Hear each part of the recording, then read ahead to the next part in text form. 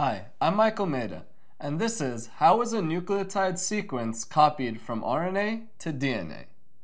So normally, we have DNA that is transcribed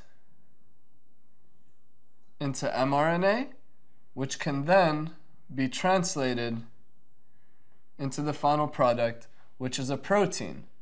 However, in some situations, it is possible for RNA to be reverse transcribed into DNA. This usually takes place in viruses, the most common one being HIV. So this process called reverse transcription begins with an RNA and then it requires different tools. The tools it requires are a reverse transcriptase enzyme and a tRNA primer.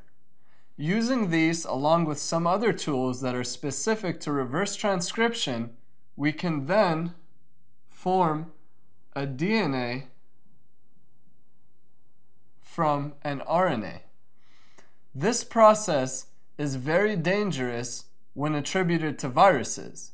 For example, in the HIV virus, due to reverse transcription, it can actually incorporate itself into the cell's DNA, thus remaining there until the cell is killed. So, normal, we have DNA, RNA, protein. However, in some cases, especially in viruses, we can have RNA reverse transcribed into DNA.